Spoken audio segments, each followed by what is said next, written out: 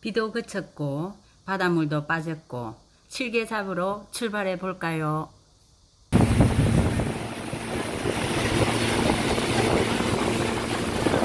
잔잔한 바닷가에서 칠개 잡기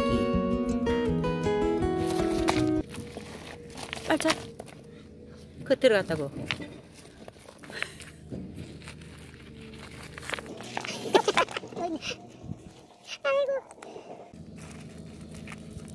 여기 한 발이 있지 여기 있다 여기 봐.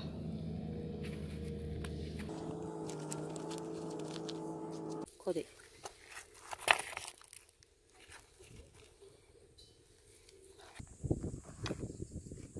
찝으려고 치. 네. 이거 담아 여기 있어.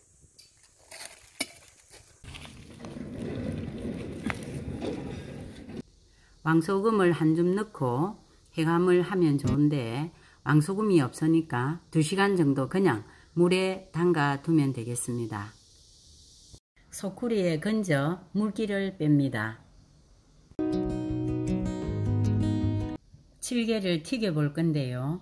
칠개 한 대접에 튀김가루 두 스푼 넣고 섞어줍니다. 튀김하기에 적정한 온도는 한 마리 넣었을 때 거품을 내며 튀겨질 때입니다.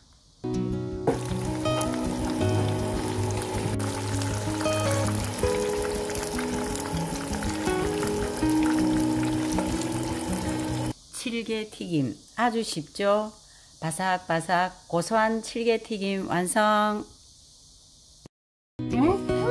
먹어보자. 먹어보자.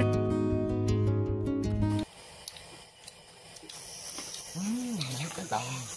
음, 맛있다. 아 고소해. 간도 딱 맞다 그죠? 아싸, 두 번째 했어. 금방 잡아갖고 튀기니까 더 맛있다, 그지? 고소하고. 매콤한 칠개 무침을 해볼 건데요.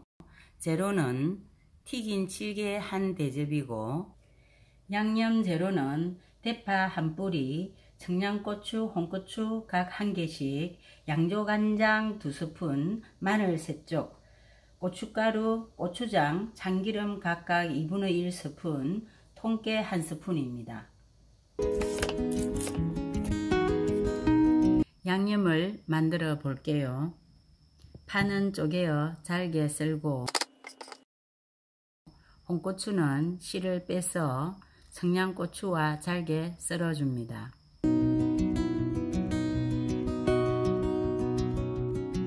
마늘은 다져 넣고 고춧가루와 양조간장, 참기름, 고추장을 넣고 섞다가 마지막으로 통깨를 넣어서 섞어줍니다.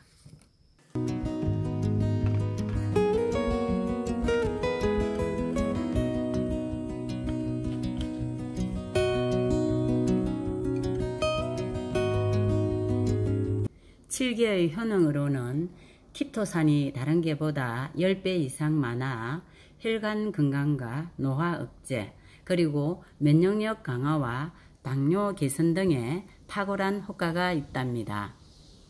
만성질환 1위 고혈압, 혈압을 낮춰주는 최고의 칠개 요리 드시고 건강하세요. 이 영상이 도움되셨다면 좋아요, 구독 부탁드립니다.